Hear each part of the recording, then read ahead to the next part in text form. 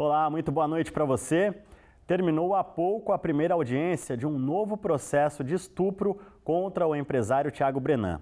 O crime teria acontecido em Porto Feliz e a Nicole Bonente tem mais informações de mais esse episódio envolvendo o réu. Boa noite, Nicole.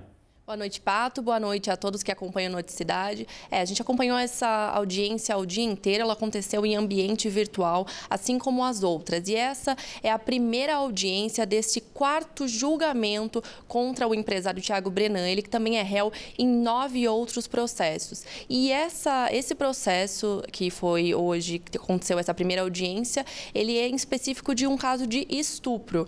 Uma mulher acusa Tiago Brenan de estupro e hoje ela teria sido junto com uma testemunha aí de acusação. Os, os advogados do Tiago também estiveram presentes nessa audiência, ela que ocorre na vara de Porto Feliz, já tem outros três processos contra ele também nessa mesma vara, já que na cidade o empresário teria uma casa e é onde esse crime de estupro teria acontecido, isso de acordo com essa vítima, essa suposta vítima que acusa o empresário. Essa audiência durou cerca de cinco horas hoje e teria tido a participação participação do empresário que está preso no CDP de Pinheiros e que, portanto, participa de forma virtual.